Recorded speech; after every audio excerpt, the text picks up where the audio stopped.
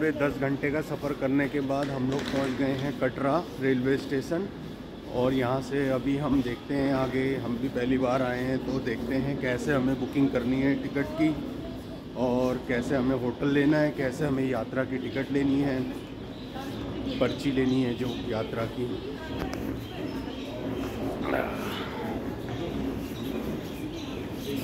और ये सामने जो पहाड़ी है, इसमें बर्फ़ है और यात्रा यहीं से शुरू होती है मेरे ख्याल से।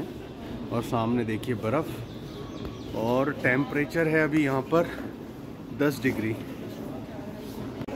और अब हमें ये यात्रा पर्ची मिल चुकी है, इसके बाद हम अपनी यात्रा आरंभ करेंगे।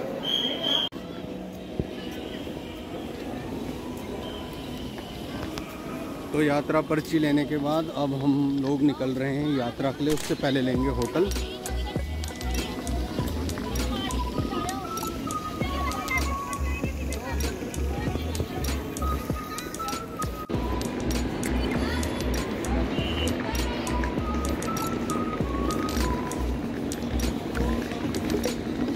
यहाँ पर है टैक्सी स्टैंड और ये हेलीकॉप्टर सेवाएँ भी चालू है।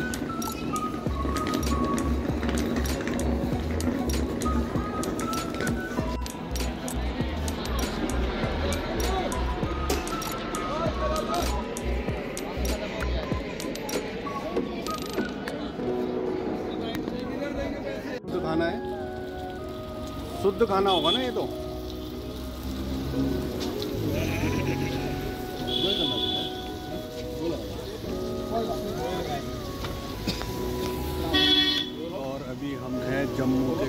में और हल्का फुल्का नाश्ता कर रहे हैं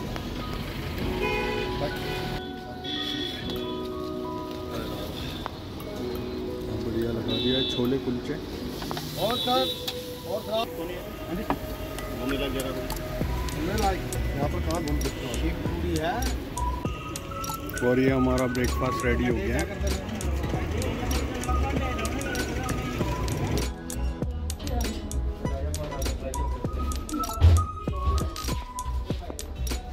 और नहाने धोने के बाद हम लोग ब्रेकफास्ट कर रहे हैं और इसके बाद हम लोग चढ़ेंगे चढ़ाई थैंक यू जी रेडी हो क्या तो चलते करते हैं और आगे चढ़नी है हमें चढ़ाई तेरह किलोमीटर की ब्रेकफास्ट करने के बाद अब हम लोग चलेंगे बाढ़ गंगा और हमारे लिए ये गाड़ी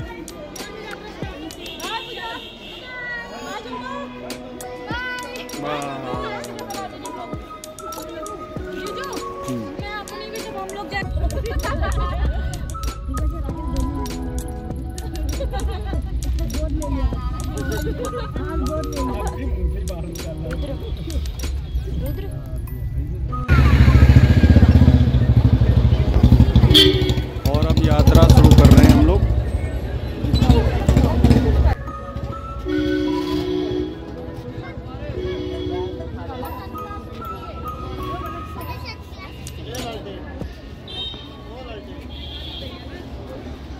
और कुछ इस तरीके का माहौल यहाँ पे।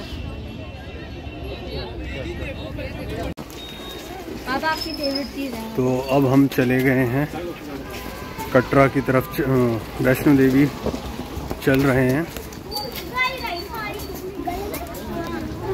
तो दोस्तों अब हो गई है हमारी चढ़ाई शुरू वैष्णो देवी जी के लिए।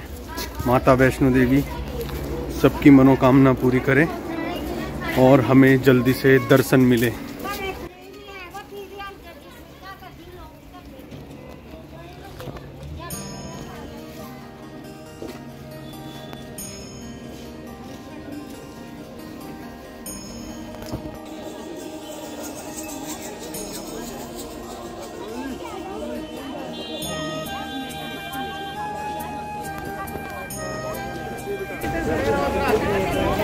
तो अब हम लगे हैं लाइन में।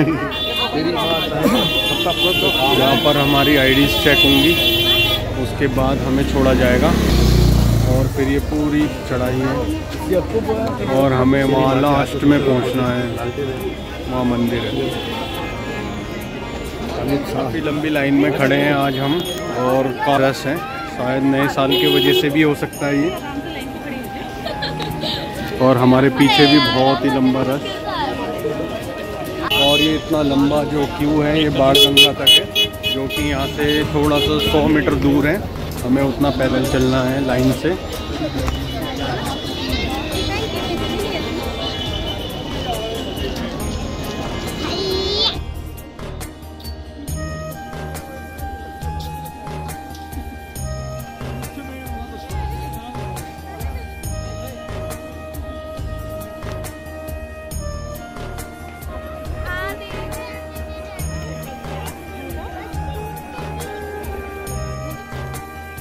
चेकिंग ख़त्म होने के बाद अब हम लोग आगे बढ़ रहे हैं माता वैष्णो देवी की तरफ़।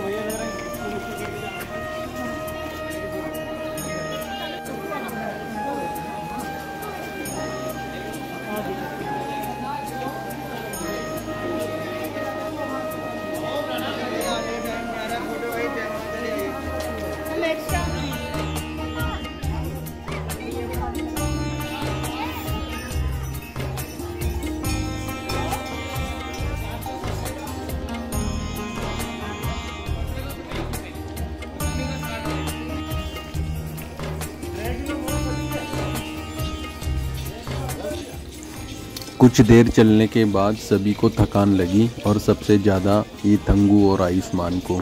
तो इनके लिए हमने नींबू पानी बनवाया।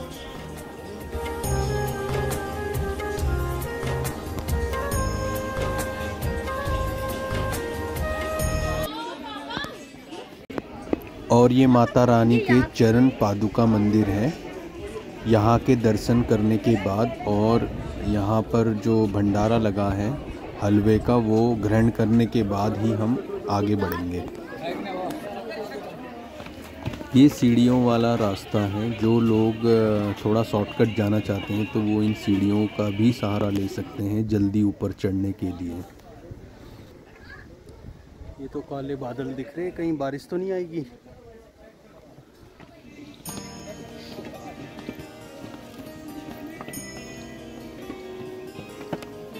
Vasco Francisco.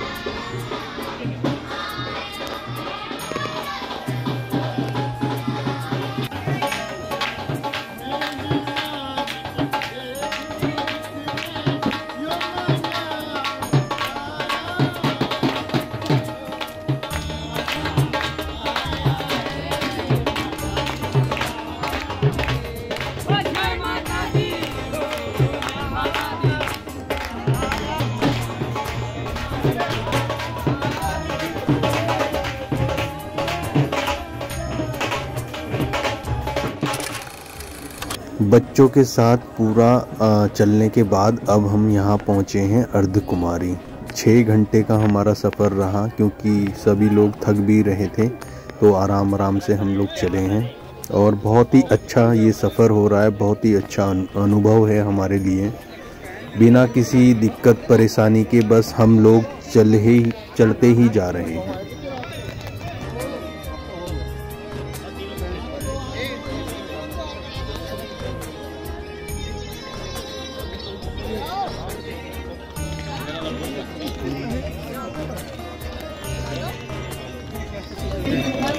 तो अब हम लोग अर्धकुमारी पहुँच गए हैं और अर्धकुमारी में दर्शन करेंगे, गुफा के अंदर जाएँगे।